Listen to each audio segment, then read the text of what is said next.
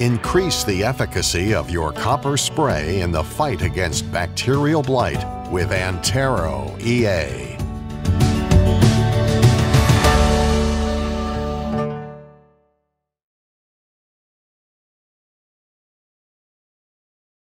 Hello, I'm Matthew Malcolm with Pacific Nut Producer Magazine, reporting to you here today with Heather Andrews from Oregon State University.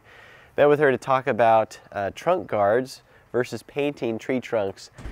Uh, you know, with, with, all these new hazelnut trees coming in, there's, there's several options and there's some pros and cons to both. So wanted to talk to Heather about her thoughts on the matter. So with all these new hazelnut plantings going in, a lot of growers, they want to try and protect their new trees. And some of the times they will paint the trunks of their trees to help prevent sun scald. But then some growers opt to go with trunk guards because this can help protect the tree from the sun scald. And then it can also help protect against herbicide sprays, especially when the growers go through and they spray for suckers.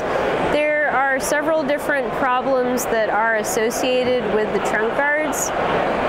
One, you can have suckers that start to grow up inside of the trunk guard, and so then even after you go through and spray for suckers, you might have to come back through and prune these out manually. Also, if you have the suckers growing up inside of the trunk guard, this creates a warm, moist environment, which is perfect for different diseases.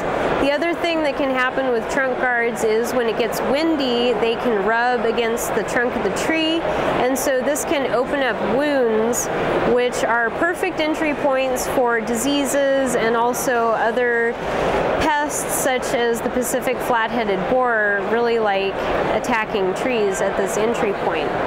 So there are some good and bad factors that are associated with trunk guards. Some of the trunk guards are also advertised as being helpful in speeding up the growth of trees. And Um, so we're actually doing a research study out at the North Willamette Station where we're testing out several different styles of trunk guards. And we've been monitoring temperature, humidity, also light levels, and then at the end of the season, we'll go through and start measuring the growth of the trees. And then next year, we will start taking these trunk guards off and then evaluating different aspects of the tree growth, sucker development, and then also looking at hardening off of the bark. So far this year, we found that the clear, peach, and blue trunk guards do have much hotter temperatures inside the tubes compared with our untreated trees. So that's just something to keep in mind if you do decide to use some of these trunk guards is that they might be really elevating the temperature right around that trunk where you could potentially, if the air temperature gets hot enough, you could kill off your tree.